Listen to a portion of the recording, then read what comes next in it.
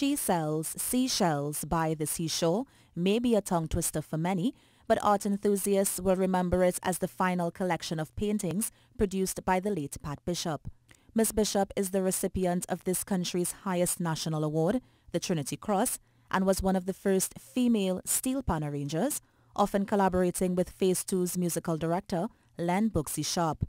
Fellow artist Ken Crichlow said women have an important role to play, not only in the subject of representation, but also as artists and art organizers. Art in Trinidad is going to continue to be female. Um, in terms of when I look at the cross section of people who are going to be contributing to this trilogy of exhibitions, you know, graduates and present students at the um, at Bishop Anstey, I think it's going to be a remarkable thing. This is a, going to be a historic uh, few months. Students from Bishop Anstey High School who attended the exhibition said elements of Miss Bishop's paintings are used in their work, adding it was important to have female representation for the benefit of young artists. As art students, we all draw inspiration from Pat Bishop's pieces.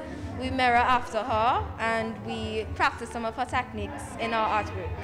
I think it's very important for female artists to be recognized, especially since many female artists are just as good and better than some male artists out there. So I think it's great that this exhibition is being held and all of these up-and-coming female artists like my friends and I can see it.